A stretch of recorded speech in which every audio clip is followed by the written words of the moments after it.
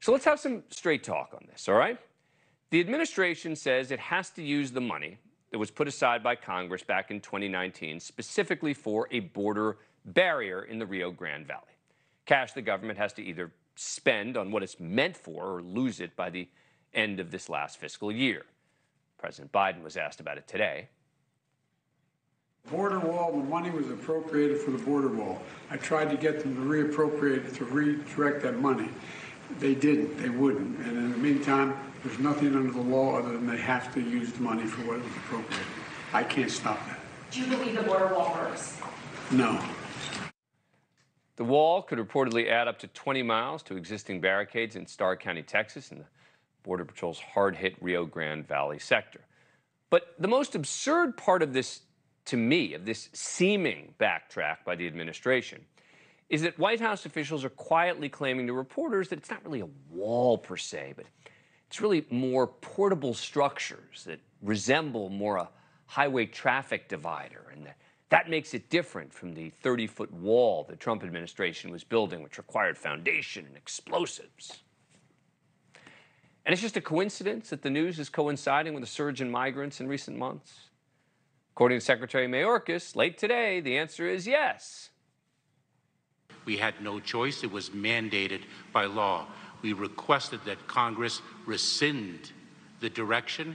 It did not do so. We, of course, must follow the law. Our policy remains as it was since day one. We are opposed to the construction of the wall. So it just happens to be that record numbers of families crossed illegally in August, reported 260,000 migrant encounters last month highest on record, more than 2.8 million total so far this year, exceeding 2022. And it just so happens President Biden has also faced increasing pressure to address the crisis from within his own party as liberal led cities buckle under the strain of housing more and more migrants. In fact, top Biden officials, including Mayorkas, Secretary of State Antony Blinken, Attorney General Merrick Garland visiting Mexico to address the issue of fentanyl and soaring migration. New York City Mayor Eric Adams making his own trip south of the border. It seems clear that Biden had to do something, with members of his own party now demanding it. Now, the problem is that this is reminiscent of this administration's past hypocrisy on issues concerning the border, like their past reliance on and even expansion of Title 42, which turned away 2.8 million migrants. But the administration had to pretend they hate it at the same time. Let me be clear I don't blame them at all for doing what needs to be done, as lawmakers refuse to come up with any bipartisan solutions. But the administration seemingly can't even admit what they're doing. Joining me now is the perfect guest on this, John Sandweg, former acting ICE director under President Obama and also an attorney who specializes in cross border business immigration and national security. John, good to see you again. All right, so fact check this for me. Did they basically have to do this as they're claiming, or are they choosing to do this? I'll tell you, Dan, I think it's a close call. I looked hard at the appropriations language. Certainly, they're right. And when they say that Congress appropriated this money only for the wall, the question, though, is were they mandated to spend it in this manner?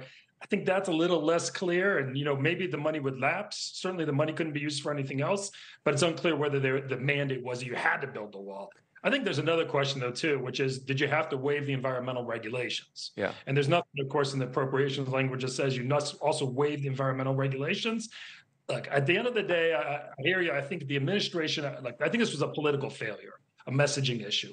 I'm not entirely sure that they view this as the kind of their new tact at the border. Uh, we're talking 20 miles, only less than 20 miles of border. The, the Rio Grande Valley is declining in numbers. We have a 2,000 mile border. I don't think anyone would say that this is going to solve our problems.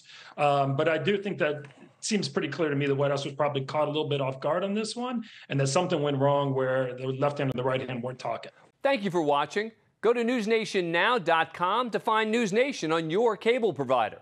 And don't forget to click the red subscribe button below to get more of News Nation's fact driven, unbiased coverage.